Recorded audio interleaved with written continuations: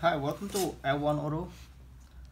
Uh, I'm going to show you today how to properly clean this uh, throttle body. Change the whole things whenever it's a damage or something. So most of the time the people damage uh, damage this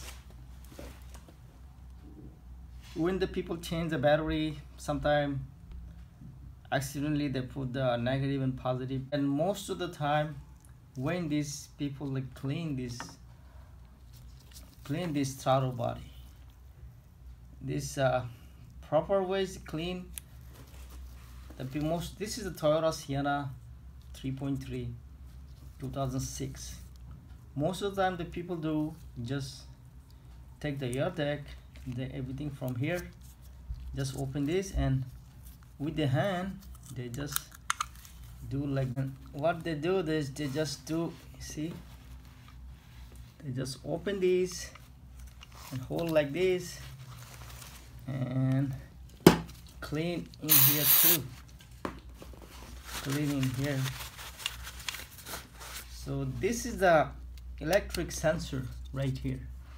When you do like this you basically mess up the messed up this sensor uh, position. You cannot do the manually like this. So better ways clean. If you want to clean just when it's dirty you need to clean this but not not not like that. The proper ways clean just you need to open whole thing like this one just don't toss over here. And the ball right here you see? One two three four. Take four ball out. And uh, the hose is a test right here. Right there one. Just take those out. Take the whole thing off.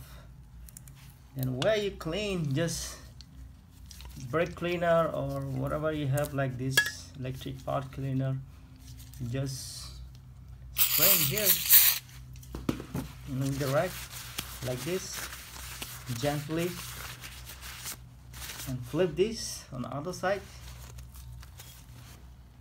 Do the same thing gently again like this just clean see?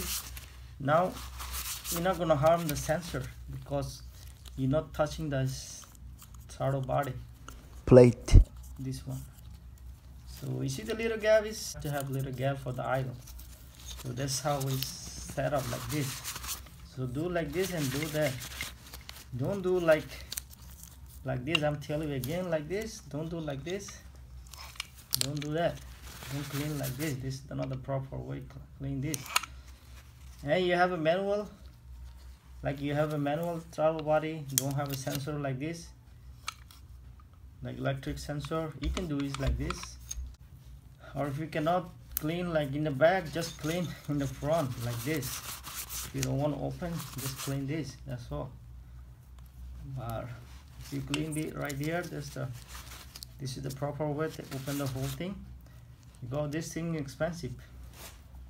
Most of the time after you after you do that and put it back like you your idle like idle needle is go like this on idle because this thing is messed up so you need to change that.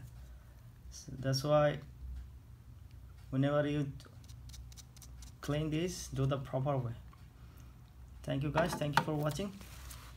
If you like the video please like and subscribe